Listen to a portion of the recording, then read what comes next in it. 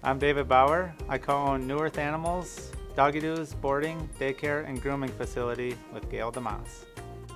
We opened New Earth Animals in 2009 on Galena's historic Main Street.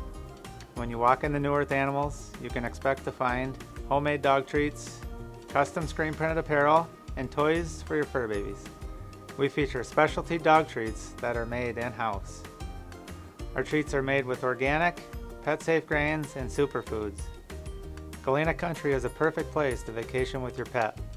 We have a lot of pet-friendly places to stay, great shopping, and plenty of parks and trails to explore. If your dog needs extra pampering during your stay, you can bring in the doggy doos for boarding or daycare.